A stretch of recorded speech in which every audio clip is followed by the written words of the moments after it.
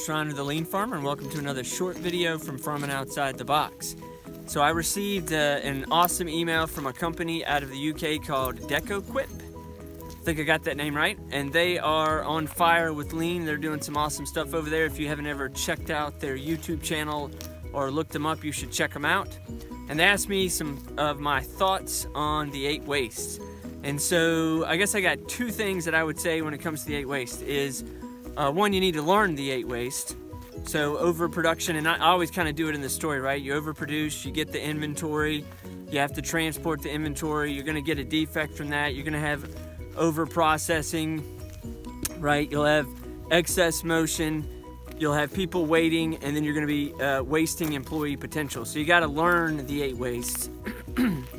but then I think the best way to actually learn to see the eight wastes is just start fixing what bugs you.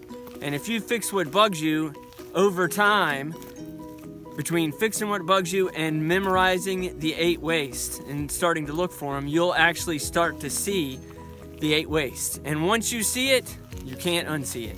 So always be looking for the eight wastes. And thanks again for watching a short video from Farming Outside the Box.